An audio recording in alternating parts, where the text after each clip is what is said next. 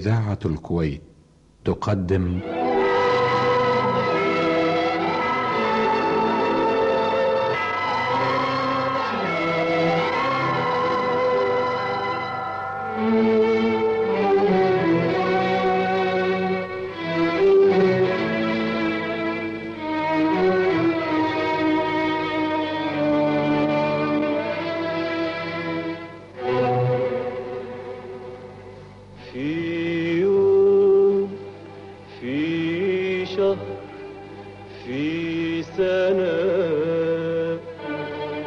الجراح وتنام.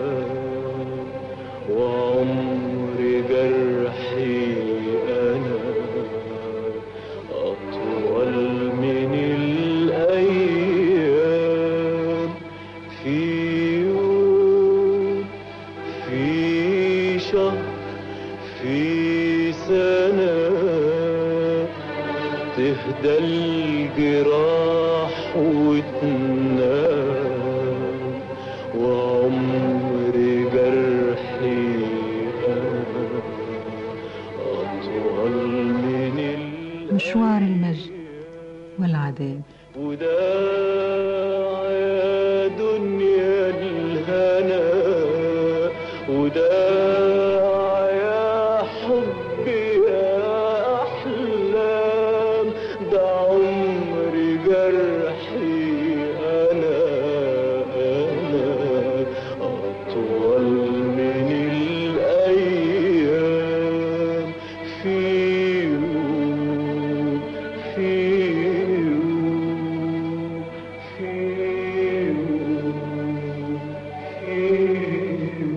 عن قصة حياة الفنان عبد الحليم حافظ.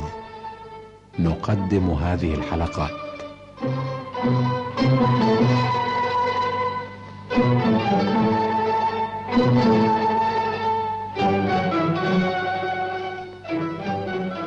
يكتبها السيد الشربجي ويخرجها مهند الأنصاري.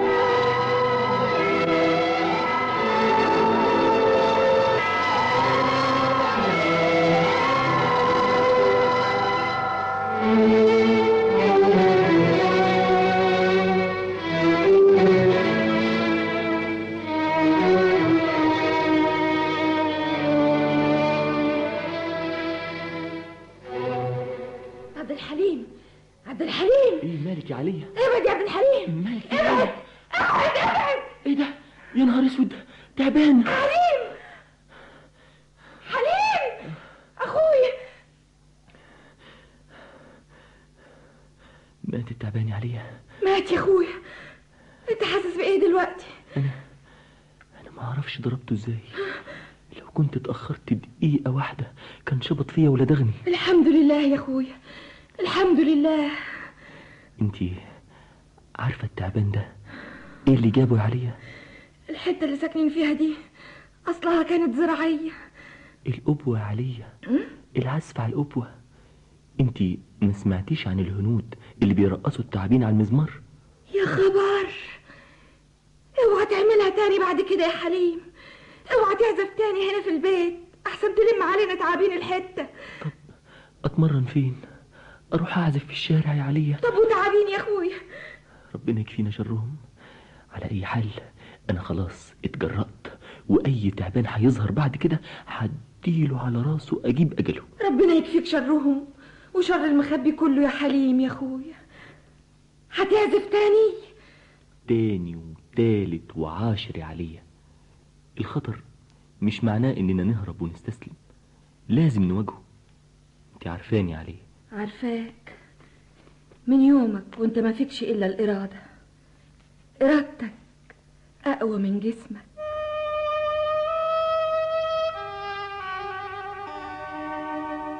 حليم تعبان تاني. ما تخافيش. ابعد انت. اضرب اضرب. تاني تاني حليم لسه ما ماتش. أنا ما كنتش متصور إن الحكاية هتتكرر كده. ده فال وحش يا اخويا التعابين هيقفوا لك في طريقك. هيحاولوا يلدغوك يا حليم. لكن هقتلهم يا عليا الله هخلص عليهم. هخلص عليهم قبل ما يلدغوني. لا. بلاش الآلة دي يا عبد الحليم. بالعكس ده أنا اتعلقت بيها أكتر وأكتر.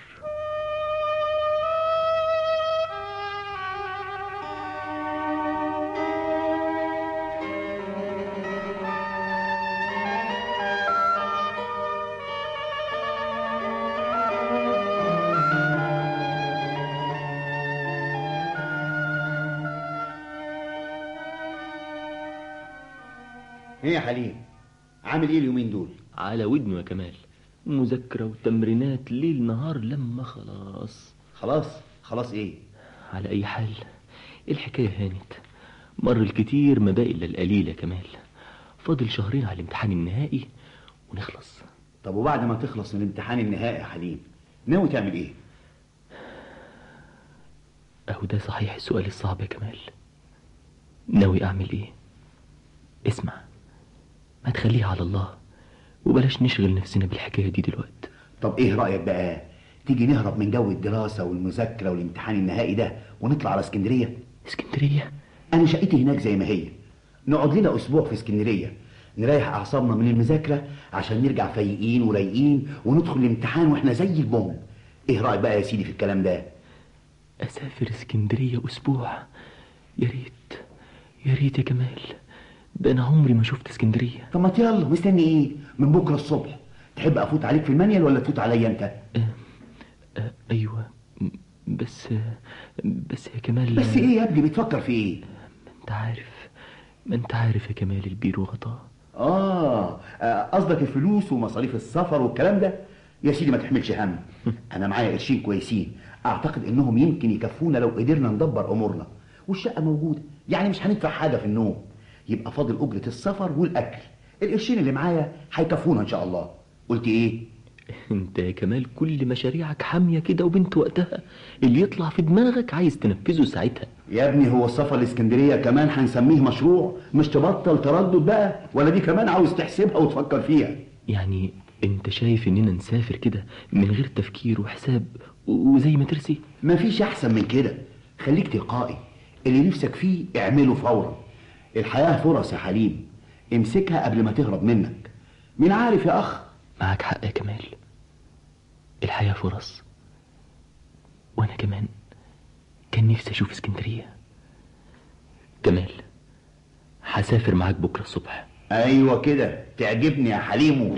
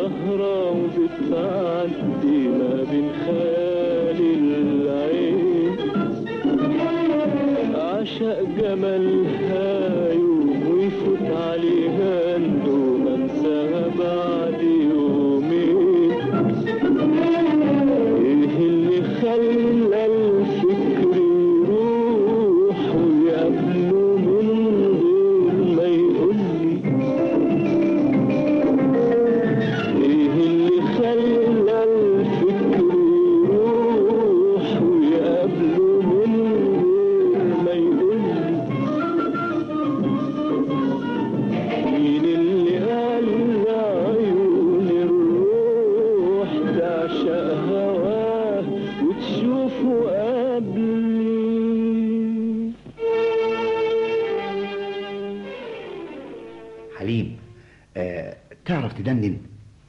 أدندن؟ أدندن بإيه؟ لحن جديد مالي دماغي. نفسي يا حليم يجي اليوم اللي الناس تسمع ألحاني وأنت بتغنيها. أنا؟ أنا أغني ألحانك. ليه؟ أنت مش مؤمن بيا كملحن ولا إيه؟ المشكلة إني مش مصدق إن أنا مطرب. أنا هروح فين يا كمال؟ هروح فين من العمالقة اللي مالين البلد؟ عبد الوهاب فريد الأطرش أم كلثوم محمد فوزي وعبد الغني السيد وليلى مراد. أنا أنا مش عاوز أفكر في الحكاية دي. أنت مش كنت بتسألني هتعمل إيه لما تتخرج من المعهد؟ تحب أقول لك أنا ناوي أعمل إيه؟ أيوه هشتغل مدرس مزيكا زي كل اللي بيتخرجوا من المعهد. تحب أقول لك أنا ناوي أعمل إيه؟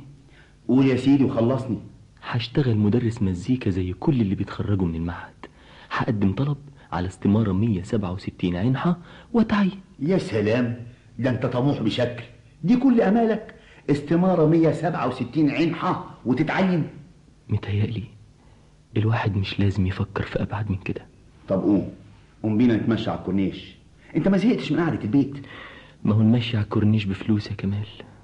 أنت فاضل معاك كام؟ لا ما تفكرنيش من ناحية الفلوس. إيدك والأرض. لو اللي معانا كفانا فول وطعمية لحد ما يخلص الأسبوع يبقى رضا. طب ما تيجي نرجع مصر بقى. أنا قلبي نشف من الفول والطعمية وعلب السلمون والبلبيت بتاعتك دي. طب اسمع. إيه؟ لقيت حل؟ آه. أنا ليا صديق عنده كابينة في سيدي بشر وأكيد هنلاقيه دلوقتي. هو عايش هنا في اسكندرية على طول. جدع مبسوط ومتريش وابن حلال قوي. إيه؟ هنروح نتلقح كمان على الناس عشان يأكلونا؟ يا أخي ما توطي راسك شوية. فقر وعنطزة كمان. بقول لك صاحبي هما الأصحاب بينهم وبين بعض أي حرج؟ واسمه إيه صاحبك ده؟ اسمه مجدي العمروسي طالب في كلية الحقوق. طب يلا بينا. هو مش أسبوع الصياعة وصعلكة؟ آه. أنا في الأسبوع ده من إيدك دي لإيدك دي. إن شاء الله تقول لي تعالى نشحت على باب المرسى والعباس.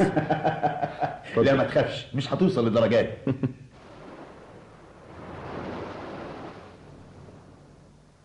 إيه رأيك بقى في المشي على الكورنيش؟ أنا مشيت لما انقطع نفسي. أنت إيه؟ ناوي توديني سيدي بشر مشي ولا إيه يا كمال يا جدع امشي ده المشي صحة.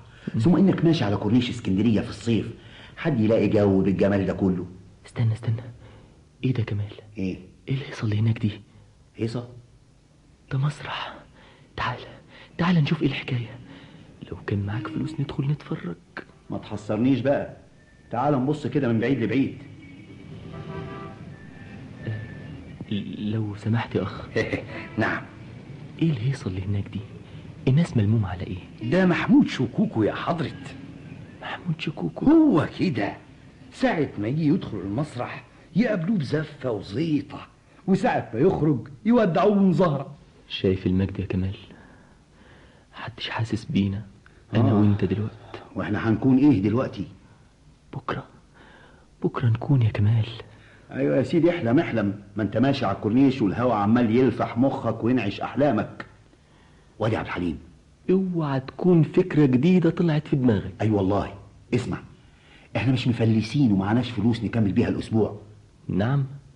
مجدي العمروسي اللي رايحين له وقلت لي صاحبك بتفكر في إيه دلوقتي؟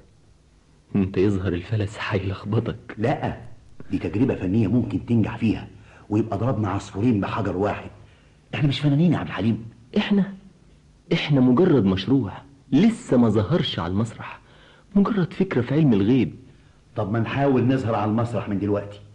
أنا متأكد إن محمود شكوكو لو سمعك هيعمل معاك عقد احتكار بسنة عشان تغني عنده في المسرح ده. شايف المطربين والرقاصين اللي بيشغلهم واللي معلق صورهم وأساميهم على الباب؟ بالذمة أنت مش صوتك أحسن منهم كلهم. ويعني عايز نعمل إيه عشان شكوكو يشغلني؟ ندخل نقابله دلوقتي على طول وأنا عندي لحن جاهز. اللحن اللي كنا بندندن فيه طول الليل امبارح إيه رأيك؟ كمال اعمل معروف ما تهزقناش مع الناس. يا جدع أنت مش مؤمن بنفسك ولا إيه؟ أنت عارف لو شغلك هتقبض كام في الليلة الواحدة؟ كام؟ مش أقل من خمسة جنيه. إيه؟ خمسة جنيه في الليلة؟ طبعا. المطربين بيكسبوا دهب يا ابني. يعني 150 جنيه في الشهر. آه، طب بقول إيه يا كمال؟ قول عاوز تقول إيه؟ آه، أنت م- متأكد يعني إن صوتي حلو وممكن يشغلني؟ الا متأكد؟ ده ما كانش يطلعك الليلة دي على المسرح كمان. أه، بس أنا أه، أنا أنا مش مستعد للادي م- مش ممكن. يا أخي تعالى تعالى وبعدين أبقى أقول له مش مستعد ومستعد أه، طب في حاجة تانية كمال. استنى. حاجة تانية إيه؟ المعهد الامتحان اللي ورانا بعد شهرين. يا سيدي لما تشتغل تبقى ال 150 جنيه أحسن من 100 معهد. أنت لما تتخرج هيشغلوك بكام؟ أنت كل حاجة عندك سهلة وحلها موجود كده. جاهز؟ الدنيا عاوزة كده يا حليم. لازم تاخدها ببساطة عشان تبقى حلوة وبسيطة. التعقيد وحش. يلا بينا. يلا بينا بس. هي يعني ديتها إيه؟ يا نشتغل يا نرجع تاني ناخدها ماشي لحد سيدي بشر. أو. إيه الغنى ده يا أستاذ؟ وإيه الألحان دي؟ م- ما عجبتكش يا أستاذ شكوكو؟ أنتوا يظهر مستأثرين بشغل الهلس اللي ماشي اليومين دول. البدعة الجديدة اللي طالع لنا فيها الأستاذ محمد عبد الوهاب. خلط المزيكا الشرقي بالمزيكا الأوروباوي. الكلام ده ما ينفعش يا أستاذ. إحنا بتوع التخت الشرقي. الناس ما بيحبوش إلا حمودة فايت يا بنت الجيران. تعرف تغني حمودة فايت يا بنت الجيران؟ حمودة حمودة فايت يا بنت الجيران كمل يا أستاذ مالك وقفت ليه؟ ما يلا بينا يا كمال. إحنا واقفين نعمل إيه؟ مع السلامة يا سادزة. ما كانش يتعز والله. لما تبقى تعرف تغني حمودة فايت يا بنت الجيران ابقى فوت علينا.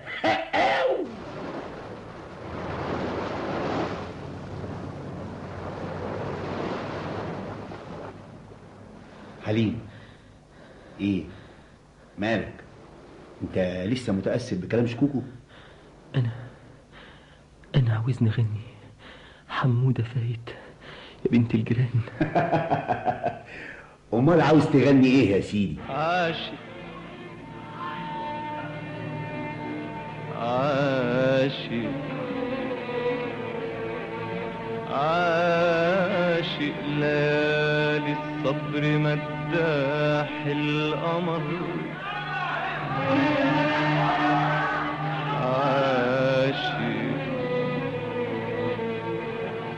أنا عاشق ليالي الصبر مداح القمر. عشق العيون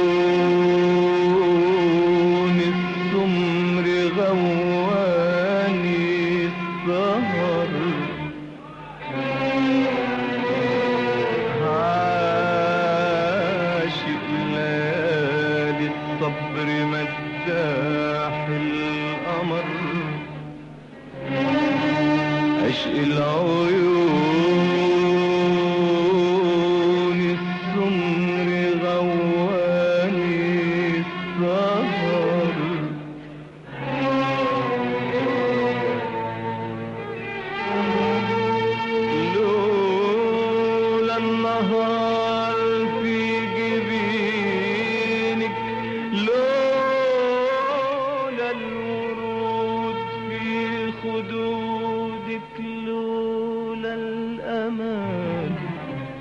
في وجودك.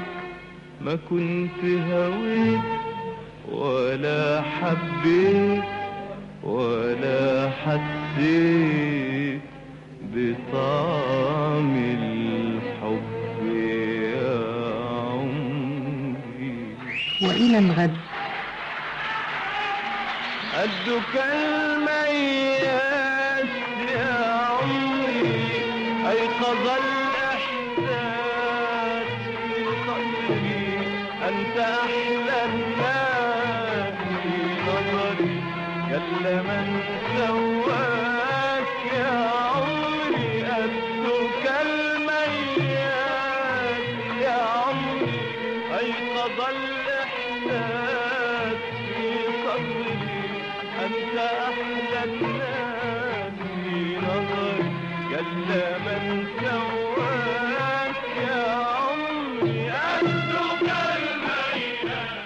مع مشوار المجد والعذاب. في حياة الفنان عبد الحليم حافظ. يكتبها السيد الشربجي. المونتاج سليمان ميرزا. ويخرجها في حلقات مهند الأنصاري.